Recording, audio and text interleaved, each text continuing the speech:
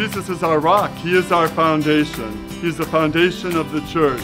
This week, as we repair and renew the house of God for our parish community, you'll notice that the foundations are going in for the additions that will create a new family center, cry room, bride's room, and a new sacristy and a new music area. Thank you for all your support for our parish community so that together all of us can have our lives set upon the foundation, the rock that is the Lord.